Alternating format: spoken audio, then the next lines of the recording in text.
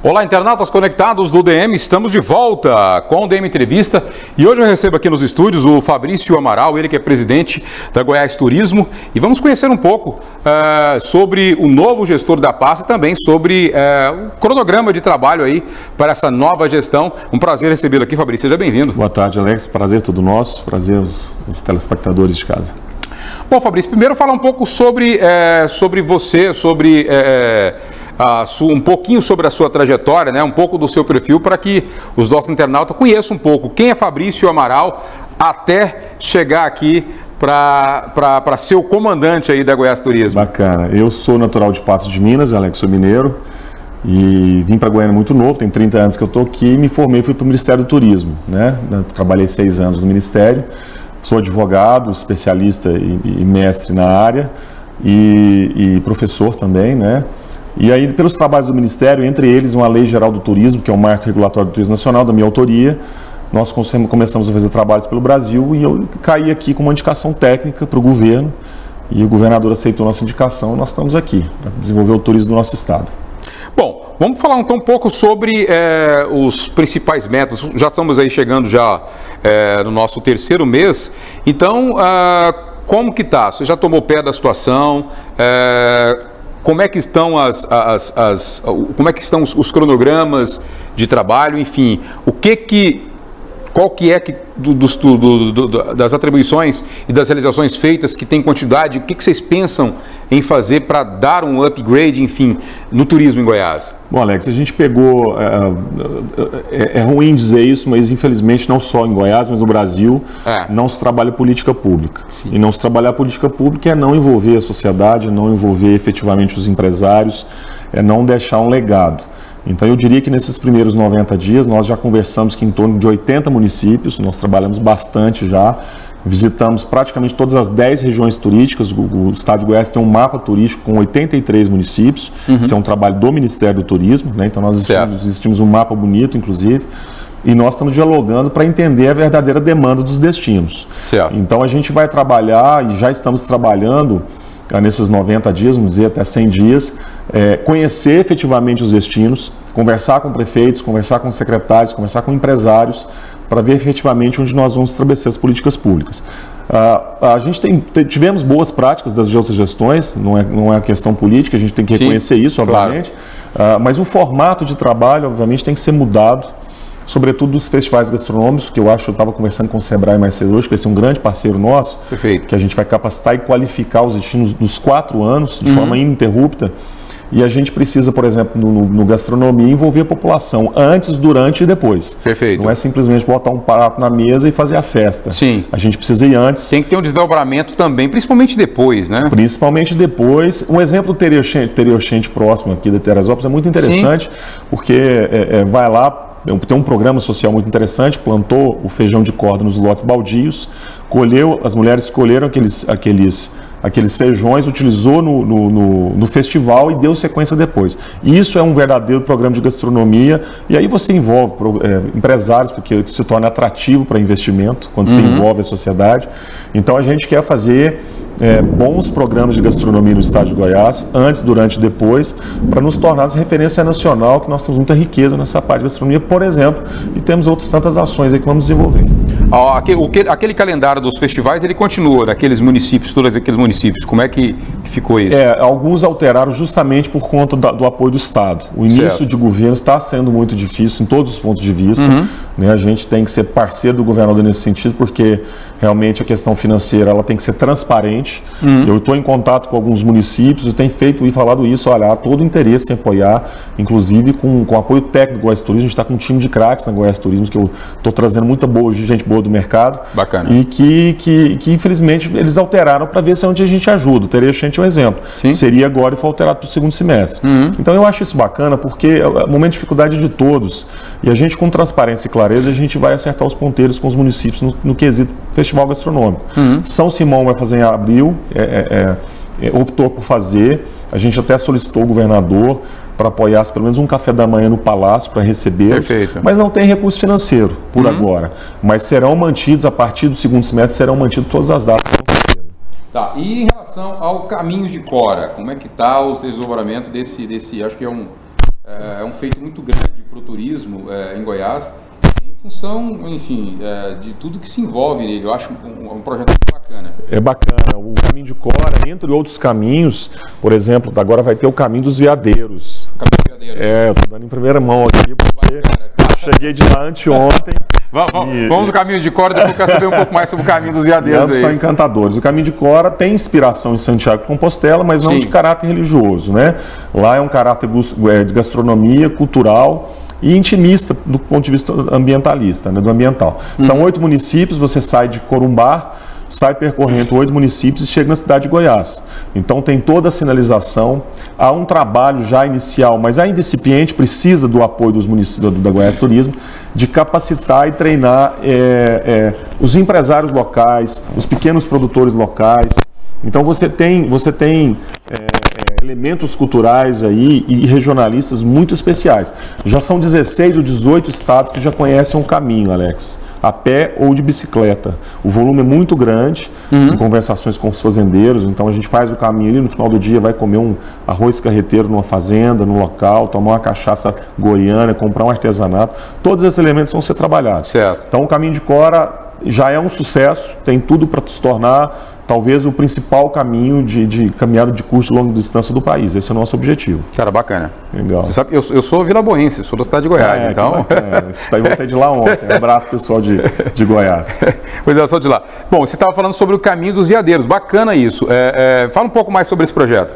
Bom, o Caminho dos Veadeiros, na verdade, são circuitos uh, datados de 1700 e alguma coisa que os bandeirantes optaram por entrar no, né, no, processo de interiorização do Brasil. Certo. Então o caminho de Cora passa pelo que a gente chama de estrada real Sim. e dá continuidade e passa na Chapada dos Veadeiros de certa forma. Ah, tá. Então você pegaria, teoricamente, isso tem que ser trabalhado, a partir de Abadiane ou de próximo de, de, de Brasília, é, passando pelo Distrito Federal, chegando em Formosa e virando para o lado da Chapada. Ah, então daria mais ou menos um caminho de 280 quilômetros nos moldes do caminho de Cora. Então a pessoa que quiser do Brasil e internacional, que nós vamos fazer um trabalho forte internacional nisso, que o europeu gosta muito disso, é, andar mais ou menos 700 quilômetros em dois caminhos maravilhosos, ele vai ter a oportunidade separado em vários trechos de, de, de percurso. É, o, a, a, propósito, é, o, o Chapada dos Veadeiros é um, é um acho que é, um, é uma riqueza que, que, que, que, Goiás tem, que é um negócio impressionante. É um local realmente maravilhoso. Eu tenho o hábito de ir lá de vez em quando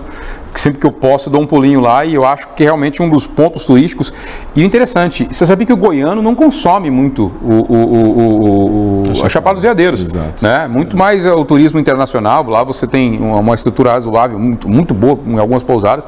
Então tem um turismo europeu é, interessante e pessoas de fora do, do, de Goiás. Mas o goiano mesmo não, não tem conhece. muito a prática. É o de... desafio da gente. Eu comentei com alguns colegas, e eu, se, se, se se eu estiver à frente da Goiás Turismo nos quatro anos, fazer algumas ações, alguns eventos para o goiano conhecer Goiás. É muito Exatamente. Importante. O goiano conhecendo Goiás é, fortalece nosso regionalismo, nosso potencial turístico, ah, aumenta o PIB do turismo, porque o dinheiro vai ficar no Estado e propicia que os empresários se empolguem e cada vez mais é, investa no turismo. Então eu acho que é fundamental esse, esse conceito de, de, goiano conhecer Goiás em todos os seus elementos aí. É, inclusive, eu, é, você falando sobre essa questão da implementação do turismo e de aumento de, de fluxo de dinheiro, enfim, é tudo muito bom. Tem um, amigo meu que ele, ele sempre diz que ah, o turismo ele é a indústria sem chaminé.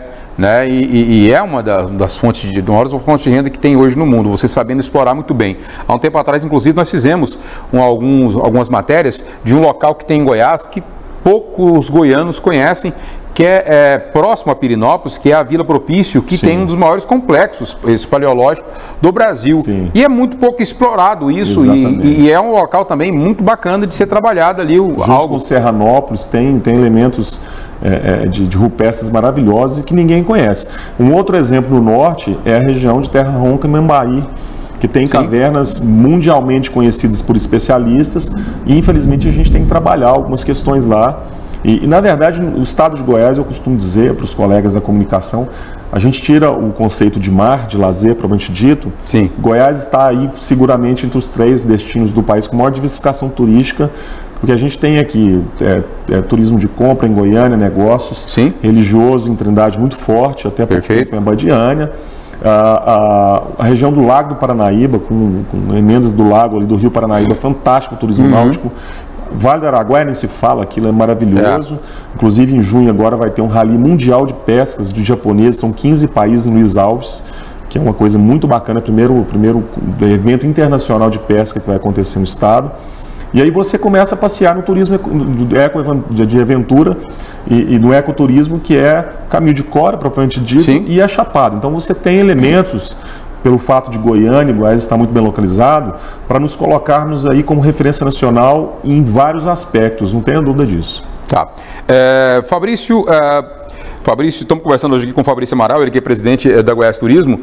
É, então, você falou sobre o caminho de Cora, sobre a é, gastronomia. Você falou para que tem um outro caminho também, alguma coisa, estrada de ferro? É, é, é o caminho da estrada de ferro, na verdade, é um trem turístico. É um trem turístico, né? É aproveitar a estrada de ferro ali da região que começa em Senador Canedo, passa Sim. por vários municípios, Vianópolis, é, é Bonfinópolis, vai para Catalão. E esse projeto também está avançado. A gente está, é, já existe o consórcio, são 15 municípios, 15 estações ferroviárias com um trem turístico de passageiros saindo. Ah, bacana. É muito interessante. Hoje a gente lá no Sebrae estava conversando sobre isso, porque lá a gente consegue trabalhar gastronomia, artesanato, uhum. circuito da cachaça goiana, que envolve sete ou oito municípios, que é uma uhum. coisa também antiga, mas do ponto de vista de mercado é nova, da promoção. Sim e consegue ter lazer. Goiânia vir para cá, de repente fazer as compras no turismo de saúde, negócio, fica mais um dia, hospeda, gera o fluxo na economia e vai fazer um passeio belíssimo de trem.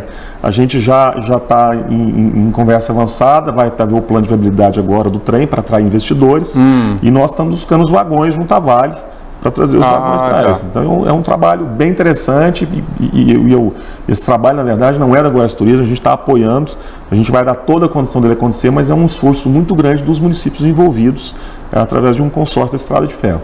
Tá.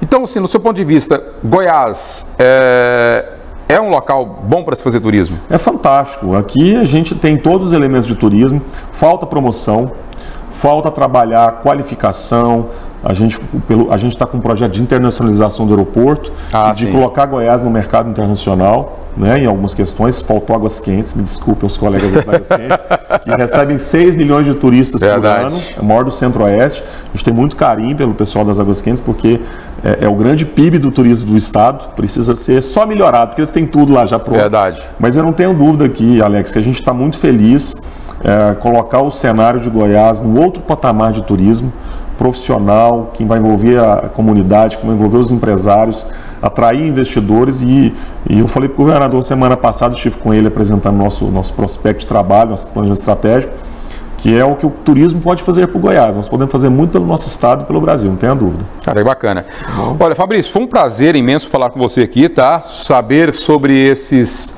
esses desdobramentos, seus planos aí para incrementar o turismo em Goiás e também sobre os novos projetos, que eu também achei muito bacana. Eu que sou um consumidor do turismo em Goiás, posso dizer que eu sou um conhecedor do turismo em Goiás, eu gosto da gastronomia, eu gosto das águas termais, eu gosto do circuito de aventura, eu sou daquele que Dê um tempinho aqui em Goiânia, que se eu puder, eu dou um jeito de consumir tudo aquilo que você acha bacana, que você encontra em outros cantos do país ou até fora. As pessoas não sabem, mas você encontra aqui em Goiás. Encontra. Goiás tem muita coisa boa. E quando eu quero relaxar, eu vou para Goiás, velho.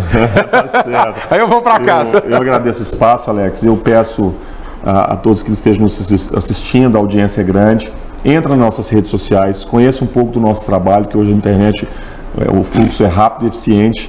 Uh, nos provoque, né? E eu tenho uma, uma, também uma outra novidade aqui para Goiânia especificamente, na rua 30, do lado do Centro de Convenções, tem a Casa do Turismo, que é um prédio de dois andares que nós devemos inaugurar no máximo 60 dias. Vocês estão convidados lá, vão bacana. receber o convite.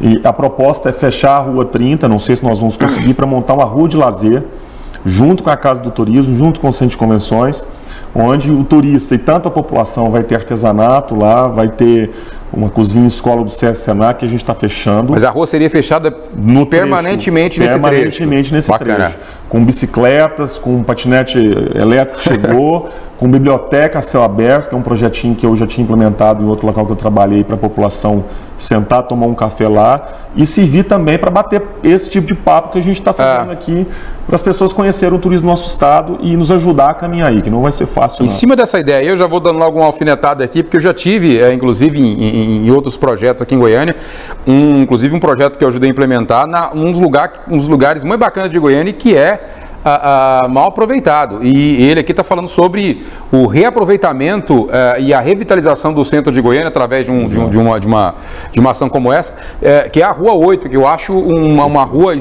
muito mal aproveitada, e num boulevard lindo, muito sim, bonito. Sim. Né? Já chegamos a fazer um projeto há algum tempo atrás lá de música e tal, junto à prefeitura. Mas eu ainda acho um espaço muito mal aproveitado e é um espaço belíssimo de Goiânia para a família para fazer isso que você falou, para ter uns cafés, enfim. Mas é muito bacana esse tipo de ação. Eu acho que é uma revitalização do centro de Goiânia, que à noite, principalmente, um local desse vai servir para fluxo de pessoas, para ter outra alternativa. As pessoas que moram no centro para ter uma alternativa de lazer, principalmente. Exato. Eu acho bacana. E com segurança, Alex. Nós, na Exatamente. Casa do Turismo, uh, no fundo da Casa do Turismo, nós é, é, convidamos a Polícia Militar para montar um, mini batalhão. Então a polícia está Bacana. Que gera segurança para as pessoas, né? Assim, não, não tem como dizer que é 100% seguro, mas é um ambiente para as pessoas irem lá e conhecer o turismo e a gente de repente sair lá bons projetos para o nosso estado. Cara, bacana. Fabrício, obrigado pela sua participação obrigado. aqui, viu? E parabéns e, e, e boa sorte no desafio. Sempre à disposição, vamos otimistas com projeto, com foco, vamos entregar os resultados, se Deus quiser. Fabrício Amaral, presidente da Goiás Turismo, e nós voltamos a qualquer momento com mais entrevistas, com mais informações para você que está conectado aqui ah, nas nossas redes sociais, diretamente do Diário da Manhã. Tchau, tchau, gente, aquele abraço.